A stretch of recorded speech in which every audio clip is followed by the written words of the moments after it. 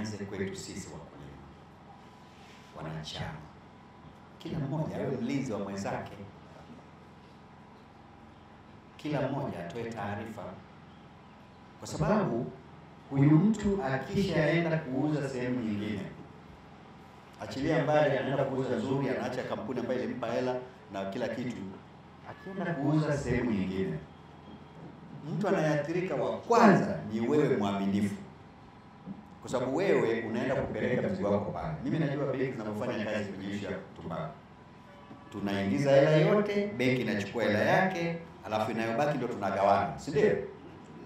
Sasa benki kama tulikuwa kumi, alafu watano waka wakatorosha, watano tukapeleka, benki anachukua hela yote. Na kuna wakati nadhani hapa pa Ikoro, kama sijakosea, wakulima walitoka bila hata shilingi moja sijajua ni chama gani, nadhani ni chama hiki Ikonongo eh, wakulima walitoka bila hata shilingi moja, lakini sio wote. Wale waaminifu, wale waongo waongo walienda wakauza huko wakapata hela zao.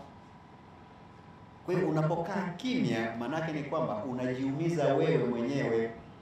Serikali haitaki hicho kitu, lakini hawawezi kufanikiwa kama nyie wakulima na wanachama hamtatoa ushirikiano. Hata makampuni mtusaidie, kwa sababu kwani anapoenda kuuza hata ile inayouzwa kinyamela inauzwa kwa makampuni, si ndio maanake? Kwa hiyo kama hili tatizo lipo, hatuwezi tukasema mkulima ana side sale. Ana side sale wapi? Kwani anaenda kuuza nchi za nje? Anatuuzia sisi sisi ambao ni makampuni.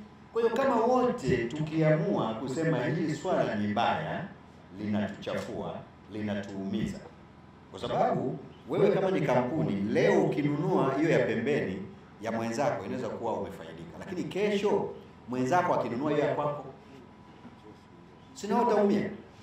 Kwa hiyo mwisho wa siku ni kwamba amna ambaye anafaidika na huo mfumo, na niwaombe sana wote, wadau wote, tushirikiane.